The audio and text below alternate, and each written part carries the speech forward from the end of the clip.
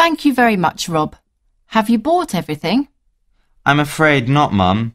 They didn't have the cheese you wanted, and the bananas looked rather old, so I didn't get any. But I can go to the shop round the corner. They should have what you need. That would be great. Will you get some yogurt too, please? Aunt Lesley has just called to say that she's coming tonight. I want to make strawberries with yogurt and cereal, but there isn't any yogurt in the fridge. How about cereal? Well, there's plenty of that left. Okay, Mum. Do we need anything else? Just let me check. Well, we've got enough orange juice, and we've got lots of cherries just in case. No, that's all really. Okay, Mum.